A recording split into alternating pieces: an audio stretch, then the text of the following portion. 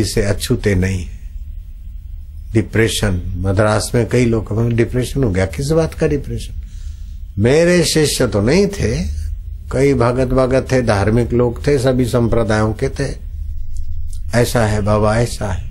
मैं क्या धर्मात्मा तो हो, तुम लोग श्रद्धा तो है, लेकिन तुम्हारे जीवन में जो धर्म का सत्यत्व होना चाहिए, चेतनत्व होना चाहिए, आनंदत्व होना चाहिए निर्भीकता आनी चाहिए।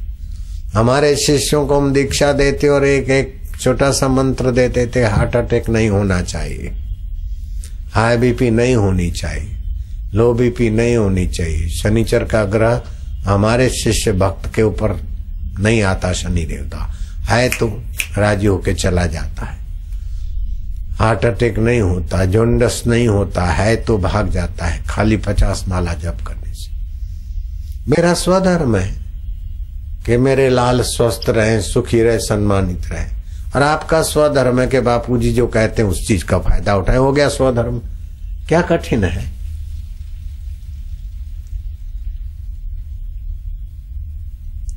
स्त्री का स्वधर्म है पति के लिए अगर भोजन बनाती तो उनका सीज़न के अनुकूल स्वास्थ्य का ख्याल रखकर भोजन बनाए। और उनके भोजन परोसते समय चिंता की बात ना कहे। और पुरुष का स्वधर्म है। कि स्त्री के शील, संतोष और उसकी स्वास्थ्य की रक्षा, मानसिक और बौद्धिक विकास। ऐसे ही बच्चे का स्वधर्म है कि माँ की आज्ञा पाले और माँ बाप का स्वधर्म है। बच्चे का सर्वांगी विकास चाहे अपना अपना स्वधर्म, व्यवहारिक और तात्विक स्वधर्म। दोनों से समाज का, देश का, राष्ट्र का, मानवता का मंगल है। मुसलमानों का भी मंगल है, हिंदुओं का, ईसाइयों का, पारसियों का। मैंने कभी नहीं चाहा कि किसी मुसलमान का नुकसान हो। और मुसलमान भी नहीं चाहते कि बापू जी का नुकसान हो। मैंने फकीर शर्मद की कथा कही, मुसलमान साधक सुनकर दंग रह जाते। बख्तू बीबी की और बाबा फरीद की कथा कहता हूँ तो बोलते, बाबा, इतना तो हम भी नहीं जानते थे। नहीं जानते थे, लेकिन मेरा तो स्वधर्म है न। तुम्हारे यकीन को बढ़ाऊं और यकीन जहाँ से उत्पन्न होता है और यकीन जहाँ से फल देता है, उस अल्लाह ताला और ईश्वर में तुम्हें विश्रांति मिले, ये तो मेरा अपना कर्तव्य है। औरंगाबाद से कई वो कहीं कहीं से आते, हैदराबाद से। मुसलमान भाई आए, बड़ी सूफी भाई जैसी थी। बोले मुके मुझे इश्क इलाही, इश्क मिजाजी बाबा मुझे इश्क मिलेगा, मैं क्या क्यों नहीं मिलेगा बेटे? बोले, मैं दीक्षा ले रही थी तो मैं जिस फकीर को मानती थी, वो इस जहान में उनका शरीर नहीं।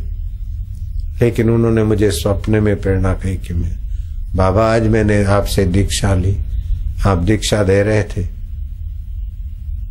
वो बोलते बोलते, माई, मधुर आंसुओं से रोती हुई दिखेगी मूर्खों को। मैंने तो देखा उसके नेत्रों से पवित्र यकीन की, प्रेम की गंगा बह रही थी वो मुसलमान भाई। बोले, बाबा, आपके संग मेरे वो फकीर जिनको मैं मानती थी, मैंने देखे, हंस रहे थे।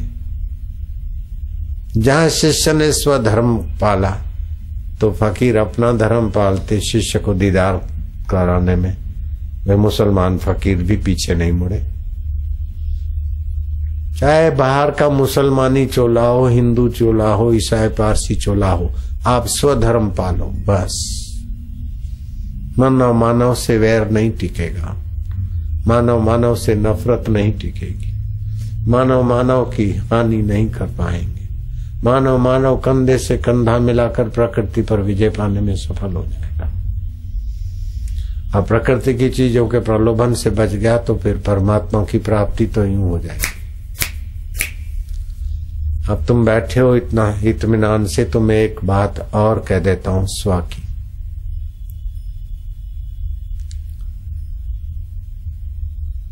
पर में पाना होता है, पर में जाना होता है। पर में परवशता होती। है? हाँ? ठीक है? कुछ होता है बनाना। संसारी काम धंधे में नफा भी होता है, नुकसान भी होता है। लेकिन स्व को पाने में नुकसान तो होता ही नहीं है, नफा ही नफा है।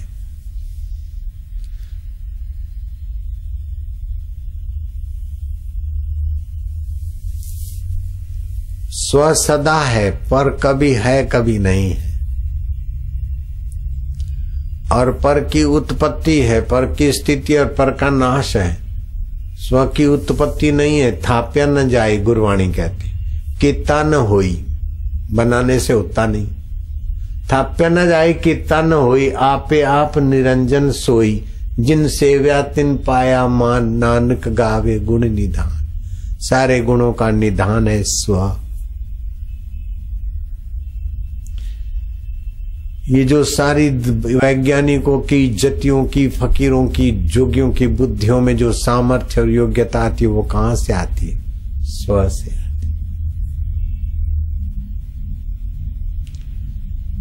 तो स्व की महिमा में, गरिमा में, स्व के सामर्थ्य जगाने में जो कर्म है, वो स्वधर्म है।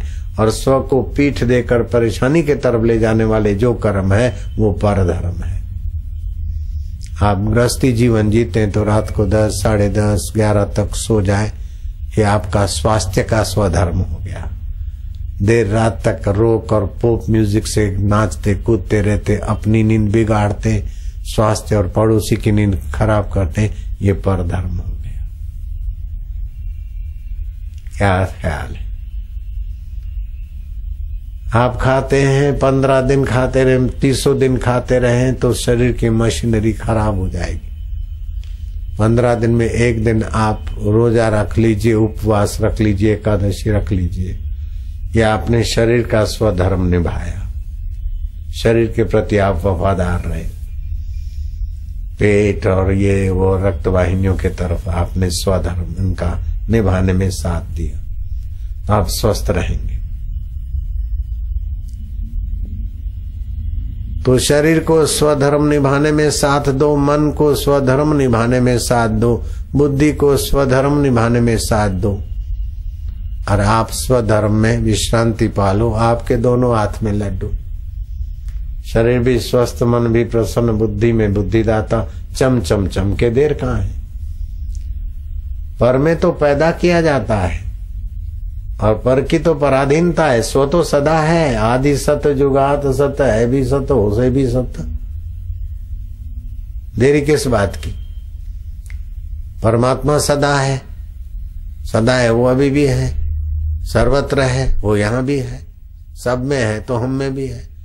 जब परमात्मा भी है, हम भी है तो देरी किस बात की?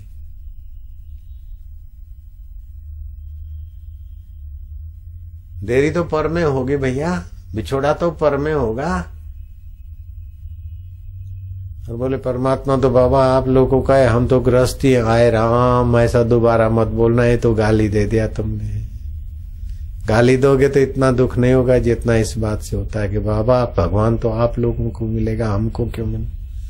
नहीं नहीं, लाला, लालिया, बिटिया, माताएँ, बहनिया, लालिया, प्यारी, बोतिया, पोतिया, दोतिया। अब तो बड़ा बापू हो गया मेरी पोतियाँ भी बहुत है, दोतियाँ भी बहुत है। एक माँ के दस बच्चे। तो क्या एक एक बच्चे का माँ का दसवां दसवां हिस्सा है कि सब बच्चों की माँ पूरे की पूरी है?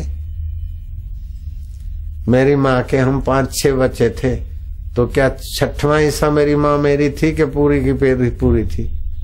मेरे बड़े भाई की माँ भी उसके लिए पूरी की पूरी, और मेरे लिए भी पूरी, और मेरी बहन के लिए भी पूरी, और मेरे दूसरे भाई के लिए भी पूरी, और दूसरी बहन के लिए भी पूरी की